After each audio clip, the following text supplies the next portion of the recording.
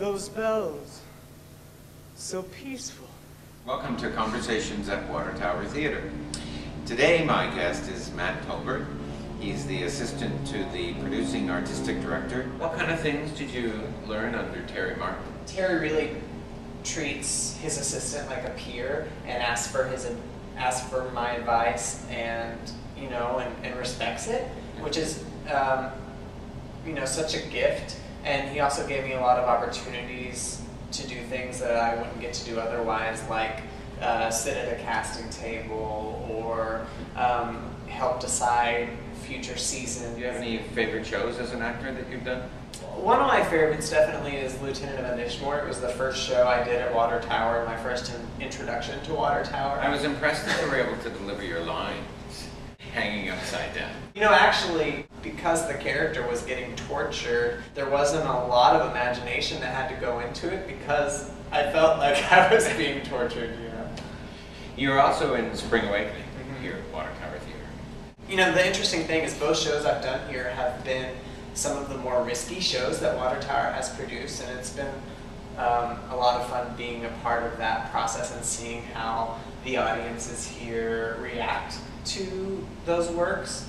Um, and, and those are definitely the kind of works that I'm passionate about, things that um, kind of push the boundaries a little bit and get people to really think about what they believe and what they think about the world.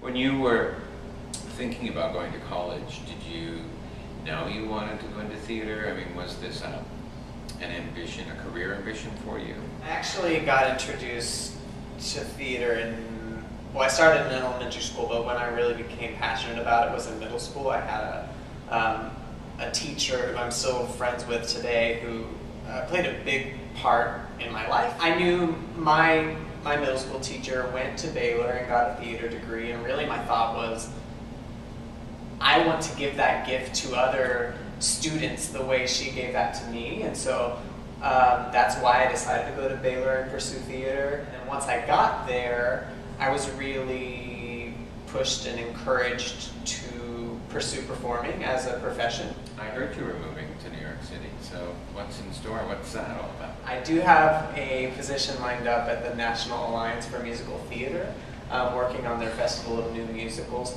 Um, I will definitely say that working at the Out of the Loop Fringe Festival here has prepared me for that. Good luck and have a great time in New York. Thanks for joining us today. Uh, my guest has been Matt Tolbert. At, uh, if you're interested in more information about Water Tower Theater, please visit us online at watertowertheater.org.